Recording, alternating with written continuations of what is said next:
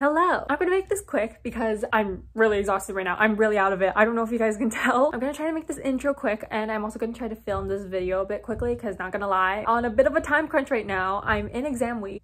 Okay, they're being really loud upstairs, rude. As I just said, I'm in exam week right now, midterms, still have midterms. I have two midterms this week. You've probably heard me mention a couple times in past videos that I still have midterms. Yeah, I had, I think one, maybe three weeks ago, and so now I have two more this week. I kind of had this idea. I don't know, since I'm kind of struggling to find time to read, I thought I could start like this sort of diaries of a college reader sort of videos where it's just like I kind of show you guys when I can find time to read and also give you guys advice on when you guys might be able to find time to read if you're you're also like me, if you're still in college. So basically today I woke up at 9 a.m., had to go to my brother's skating practice, and then immediately me, my parents, and my brother went out for like six hours, came back home at like 6.30, and then immediately I just got into studying. I just immediately studied for about a good, what time is it? 11? Five hours. It's 11.20 right now, 11.20 p.m. Right now I plan to take a shower and then I plan to read. I also have work tomorrow morning. I thought I could start out with um, the third book in the Captive Prince trilogy by C.S. Pacat. I know this is really, really random. I literally told no one I was reading this. Don't recommend this to anyone. it's so bad, okay? It's so, so bad. If you're interested in this whatsoever, please do your research before you go read this. Trigger warnings. Also kind of random, but I went to the bookstore today. My parents took me to the bookstore, and so I bought two books. Thought I could show you guys. Same author, C.S. Pacat, Dark Rise, the first book in the Dark Rise series. And then I bought All of Us Villains by Amanda Foody and C.L. Herman. This one one I'm really excited about because I heard there was a really good slow burn romance in here. But yeah, I'm gonna go take a shower really quickly and then I'm gonna start reading this book and I'll tell you guys how I find time to start reading. Yeah, so basically today just went out and then immediately when I got home started studying just so I can have time to like read at night. I'm cramming as much as I can. That's how I find time to read. I do what I need to do when I wake up and then in the afternoon and then at night I can do whatever I want. Or I guess you could do the opposite where you wake up really early in the morning. For me, I just stay up really late to do what I want, but I guess waking up early in the morning also work. But yeah, gonna tell you my progress, gonna tell you how I find time to read as a starving college student. but yeah, hope you guys enjoy. My parents just left the house, so I thought I would film really quickly. Ignore the hair, ignore the hoodie. I know this is the same hoodie I wore as when I started. We don't talk about that. I think it's been like two days since I started this video. I am 34% into King's Rising. I don't know, we're kind of calmer right now in the beginning of the book. Obviously, that's how beginning of the books normally start. But the thing is, the second book left us on like a major cliffhanger. And also, can I just say, the second book really gave me whiplash. The main love interest did like a full 180 with his personality and it kind of like jump scared me. there is a reason. And you find out in the third book. I've been doing the same thing where I just do what I need to do in the morning and the afternoon and then I just read at night. I also read when I eat.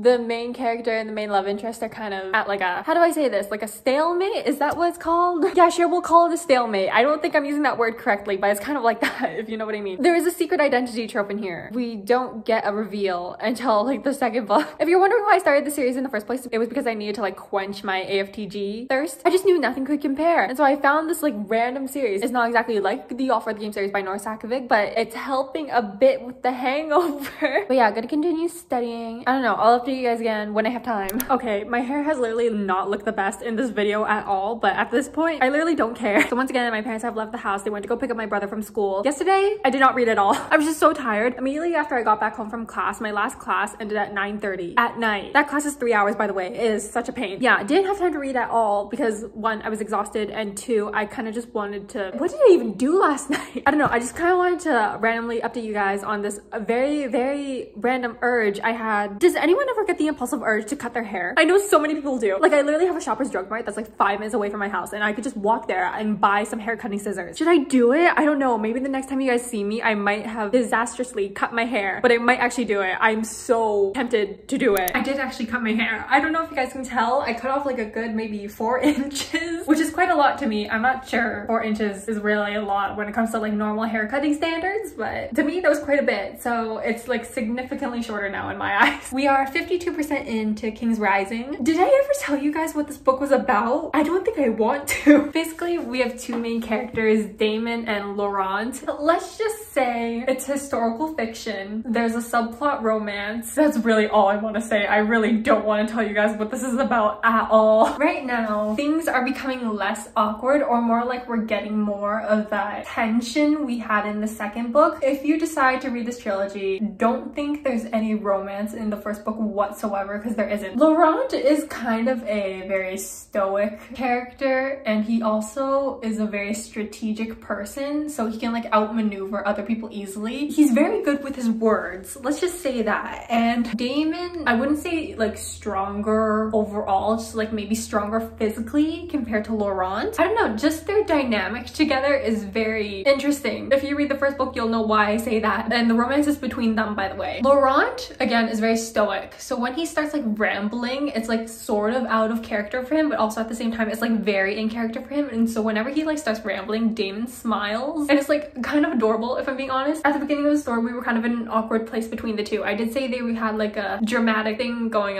Chaotic events caused them to have like a rift between them and they sort of started like avoiding each other and that made me sad. So now we're getting like that sort of awkward tension again and it's just like, oh my god, this is the best. Not really, it's not really the best. This is kind of trash if I'm being honest, but I'm enjoying it anyway. Because you know, like in romance, when the slow burn is happening and like there's the tension, the tension is what I enjoy the most. And oh my god, I forgot to tell you guys, I finished all my midterms. I think it's been like three days since I last filmed for this video. I'm so sorry, I was so busy studying. Yeah, what did I do? I cut my hair, I studied a lot, and then immediately after midterms were finished, which was today actually, I finished my last midterm today, started reading again. Again, 52% into the book. Yeah, but things are getting good. Some past demons are sort of coming to haunt Damen physically, not mentally. Like she appeared out of nowhere. His past like lover showed up out of the blue, right? And she's kind of like on the enemy side. We're getting into the dramatics here. Laurent and Damen are like supposedly from enemy kingdoms in the beginning of the series and now they've sort of come together. And oh my god, I forgot to mention, again, Laurent is very like sort of closed off sort of character. And right now we're kind of sort of strangely see him making friends. Some sense of camaraderie is happening. And I was not expecting that out of Laurent of all people.